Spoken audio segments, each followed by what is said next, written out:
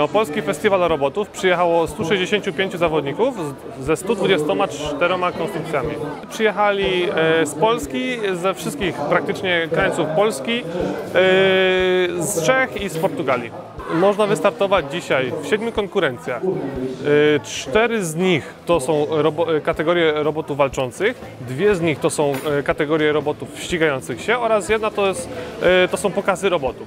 W przypadku kategorii e, robotów walczących jest to mini sumo, sumo, e, lego sumo i jeszcze mikro sumo. W przypadku kategorii robotów ścigających się e, też rozróżnia się budow budowle zaprojektowane od podstaw przez zawodników, zaprojektowane i zbudowane oraz rozróżnia się roboty z, kategorii Lego. W przypadku konkurencji freestyle są to przeróżne konstrukcje.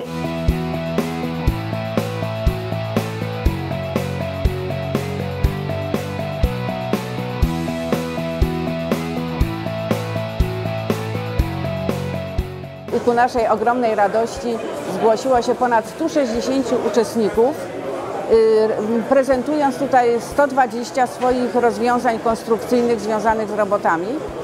Y, Szczególnie dla mnie taką satysfakcją jest to, że jest bardzo dużo dzieci.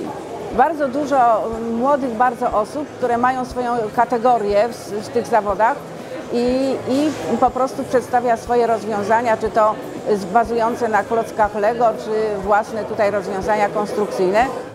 Jestem Klaudia Konieczko, przyjechałam z zespołu szkół w Pogolinie. E, Przyjechałam z koleżanką z grupy. E, Zrobiłyśmy razem robota. Nasza grupa nazywa się RoboKiller. No i wzięłyśmy udział w konkursie Lego Sumo. Przedstawiam Państwu system, u- układ kontroli i stabilizacji lotu wykonany na Politechnice Opolskiej w Kole Naukowym Spektrum.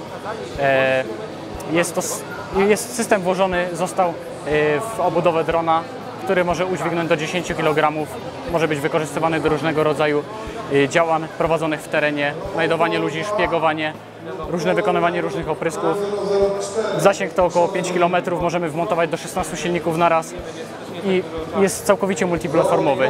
Odpalnie możemy kontrolować go z każdego urządzenia mobilnego, niezależnie od platformy, byle tylko posiadał przeglądarkę internetową, co jest wymogiem.